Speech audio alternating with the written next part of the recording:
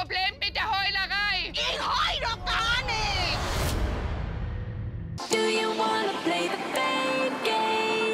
Wie sieht Deutschland den Egoismusfaktor unserer Stars? Sie selber glauben, so. Die Auflösung? Deutschland hat entschieden. Und hier sind die Ergebnisse. Wer ist solidarisch und wer ist egoistisch? Dieser Reality-Star hat schneller den Weg in die Herzen der Zuschauer gefunden als letzte Staffel Georgina den Champagner. Platz 11 geht an Narumo! Richtig geraten. Erster Punkt für die Stars. Ich hab mich sehr gefreut. Ich bin sehr bloß. Auch Platz 10. Glückwunsch, Luna! Leider kein Treffer. Alles fürs Team. Und für dich Platz 9. Tina Lisa! Zweiter Treffer. Du bist Platz 8. Aber falsch geraten. Nummer 8.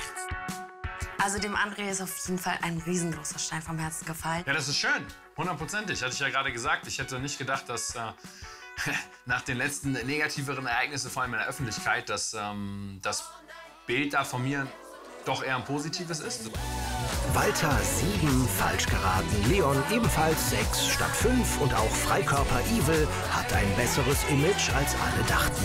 Und die liebe Jennifer landet auf dem gar nicht so schmeichelhaften Platz 4. Damit bin ich sehr zufrieden, by the way. Und wen hält Deutschland für den größten Egomanen? Einzelkindverhalten bis ins hohe Alter. Hier kommen die Top 3 Egoisten. Platz 3 geht an. Tim!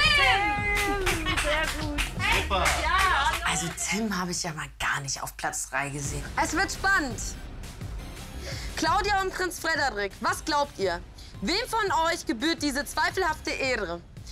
Ein Star muss egoistisch sein, sonst geht er nie, sonst äh, kommt er nie oben an auf der Leiter. Auf Platz 1. Der Ich, Ich, Ich Einmann-Fangruppe.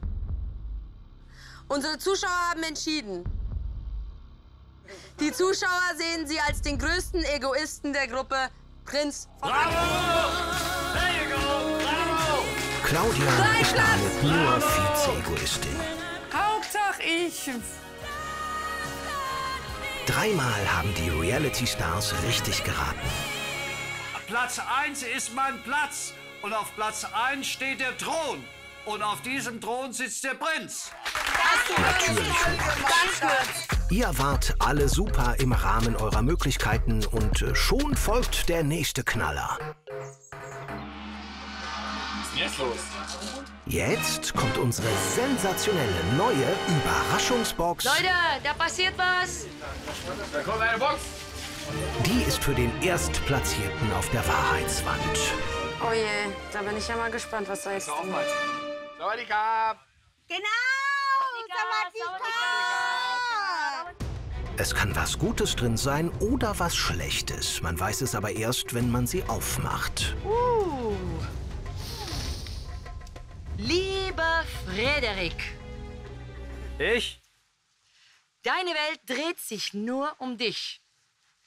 Denn Deutschland sagt, du bist der größte Egoist. Genau so ist es. Deshalb ist die super gute oder echt eher so Mittelbox nun deine. Alle freuen sich mit Frederik, weil sie ihn so lieb haben. Oje. Bitte schön. Oje. Du bekommst folgende Möglichkeiten. Du öffnest diese Box und tust, was immer die Box von dir verlangt. Zwei, du öffnest die Box nicht und hast vielleicht eine Chance vertan. Drei, du gibst die Box weiter. Also die letzte Frage kannst du dir sparen, sonst wäre ich ja kein Egoist. Deshalb gebe ich sie nicht weiter. Na, okay, dann. Okay. Schade, wäre ja schön gewesen, ja, wenn er mal einmal was gegönnt hätte. Bist du wirklich so egoistisch? Riskiert er lieber eine schmerzhafte Überraschung, als dass jemand anders vielleicht was Schönes kriegen könnte? Aufmachen, aufmachen, aufmachen! Da kann nur Böses drin sein. Da kann nur Böses drin sein. Gönn dir, Frederik. Oh, tada! Ein Umschlag. Ein Umschlag. Klar war es logisch, dass er die, die Kiste aufmacht. Du bist in der kommenden Stunde der Wahrheit safe. 1 zu 0 für die Egomanie. Jetzt wird Egoismus auch noch belohnt. Jetzt ist er, ist er safe und ähm, kann seinen Prinzenstatus hier weiter ausleben. Frechheit siegt, wie so oft im echten Leben. Das ist es. Du wolltest mir das nicht glauben. Fairerweise seine noblen Titel teilt er durchaus gerne gegen ein gewisses Entgelt. Hierzu Adelsexpertin Claudia. Dieses ganze Gesindel da adoptiert er ständig für ordentlich Taten, ne? Ich hatte mein eigenes Geld, aber ich musste mehr haben. Und dann hatte ich immer über die Jahre eine Anfrage von Leuten, die adoptiert werden wollen. Waren es vier oder fünf? Vier, oder? Oder fünf? Ich glaube fünf. Wie oft hat er sich als Papa verkauft? Äh, drei, eins, zwei, drei, vier, fünf, Meines ja, fünf. fünf. Und beinahe? China Lisa, die habe ich dann nicht adoptiert, weil die irgendwie nicht, die war ein bisschen doof in der Birne. Ja, da konnte ich einfach nicht mit, ja. Und dieser Prinz Markus ist ja wirklich der letzte Typ auf der Pizza. Der hat ja auch schon Nutten verhauen. All these bitches is my sons. Er wurde adoptiert von irgendjemand, der knapp bei Kasse war. Und jetzt adoptiert er selber. Man hat gesehen, was das für für grenzdebile Typen waren. Reine Geldgier, reine Geldgeilheit. Jetzt äh, spreche ich das Wort auch mal aus. Wie läuft's denn so mit deinem Prinzchen Markus? Kein Kontakt. Kein Kontakt. Das geht nicht. Nicht meine Gesellschaft. Tut mir leid.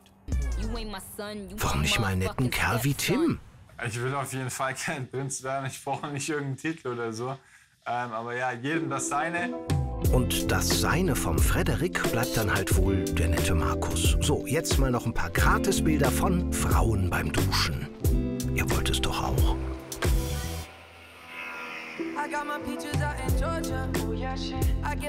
Ah, schon hübsch hier, oder? Aber auf Dauer super langweilig. Kannst du dich gleich vor eine Fototapete setzen. Freunde, wahres Entertainment braucht menschliches Drama. Und bitte. Narumol und Jenny drehen komplett am Rad, weil sie sind total auf Entzug. Aber Entzug macht erfinderisch. Ey, willst du das jetzt rauchen, Narumul? Das muss doch jetzt thematisieren. Willst du das Opa, mein, mein, mein Opa gesehen. Narumul will eine Palme rauchen. Ey, diese Frau braucht eine eigene Show, Mann. Äh, die läuft doch gerade. Guck mal, wie diese Bananenblatt, was sie hier angeschleppt Die ist größer als die.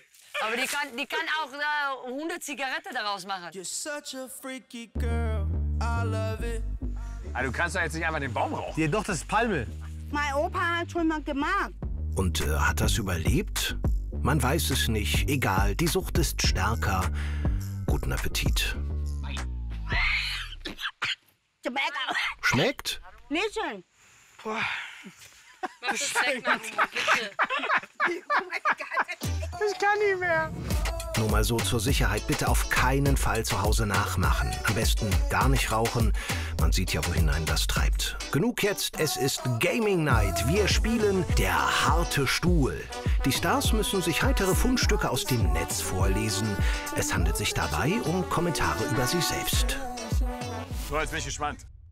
Prinz Ego darf standesgemäß natürlich als erster unseren prachtvollen Thron besteigen, zur Audienz mit seinen virtuellen Untertanen. Wie huldigt das gemeine Volk dem Fürst von Hollywood im Internet? Durchlaucht, wir sind gespannt wie Bettlaken. Ups, das war wohl eine Majestätsbeleidigung. Der Prinz war nicht so gut gelaunt. Nee, Und da war er auch einfach raus. Da hat er keinen Bock mehr gehabt. Narumol soll's richten. Setz dich da hin und lies die Kommentare. Der Prinz gibt doch sowieso einen Fick auf die. Wieso muss ich lesen? Ja, dann also hör auf mit du, du hör auf. Ja, Mann. Nein, lies das ruhig. Das ist ja seine Community. Lass es Okay. den Bachelor lesen. Lass es wenigstens jemand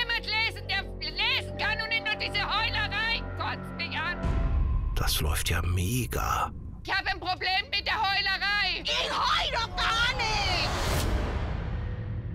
Zwei Frauen bekriegen sich gegenseitig und greifen sich gegenseitig an. Das geht doch gar nicht. Ich kann das nicht. Der Nikotinentzug macht Narumol offenbar ein kleines bisschen empfindlich. Tja, Augen auf bei der Genusswahl. Lass die Finger von den Kippen.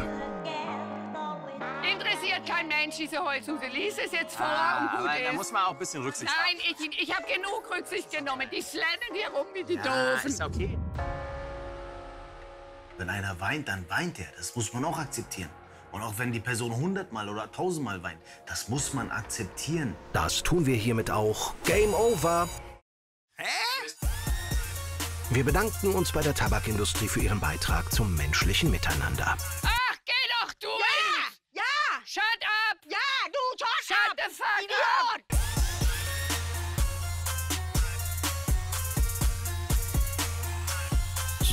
Das gemeinsame Gute-Nacht-Gebet lassen wir heute mal ausfallen.